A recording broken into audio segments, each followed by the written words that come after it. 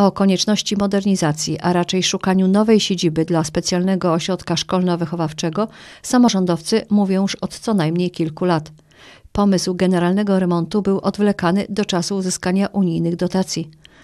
Teraz okazało się, że wykonanie takich prac byłoby nieopłacalne i bardziej rozsądnym rozwiązaniem byłaby przeprowadzka na przykład do jednego z budynków po zamykanych gimnazjach. Zostało jednoznacznie stwierdzone, że remont tego budynku się nie opłaca, jest, y, byłby długotrwały, ale i umiejscowienie tego budynku również nie jest najlepsze.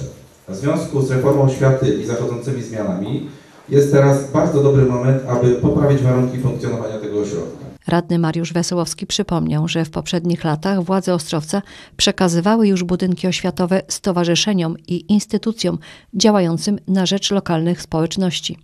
Dlatego teraz prezydent Ostrowca nie powinien mieć wątpliwości, że przekazanie budynku po jednym z gimnazjów na nową siedzibę specjalnego ośrodka szkolno-wychowawczego będzie najlepszym rozwiązaniem. Pan prezydent, jako dobry gospodarz miasta, dba o różne środowiska i grupy społeczne. Szczególną uwagę przykłada do edu- edukacji i kształcenia dzieci i młodzieży.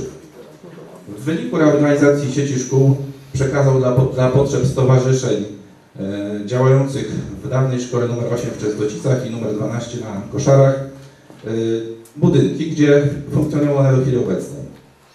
Dla potrzeb osób starszych różnych organizacji y, baru numer 4 przekazał szkołę podstawową dawną czwórkę przy ulicy Sienkiewicza. Ale władze Ostrowca przypominają, że już dwa lata temu gmina zaoferowała zamianę obecnej siedziby ośrodka wraz z przyległym terenem na jeden z budynków po likwidowanych szkołach.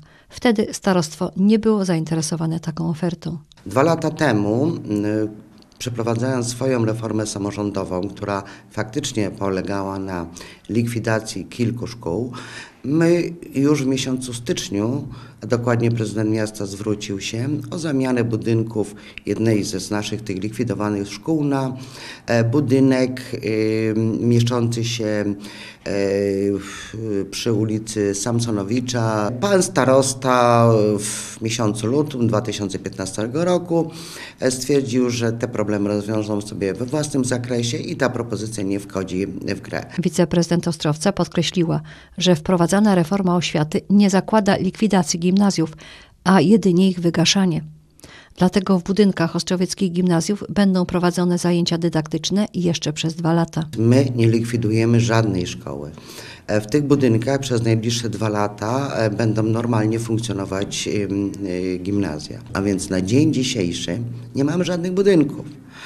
E, Owszem, za dwa lata ta sytuacja się zmieni, e, natomiast takiego budynku nie ma. Taka odpowiedź oznacza, że specjalny ośrodek szkolno-wychowawczy nie ma co liczyć na szybką przeprowadzkę do siedziby jednego z ostrowieckich gimnazjów. O ile nie znajdzie się inne rozwiązanie, to znowu może wrócić pomysł kosztochłonnego remontu.